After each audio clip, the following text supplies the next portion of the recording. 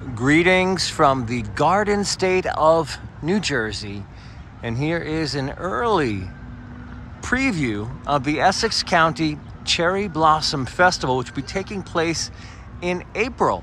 This is a March 18th look. It's still the tail end of winter, but spring is ready to see the visitors. The flags and banners celebrating the festival are all up around the park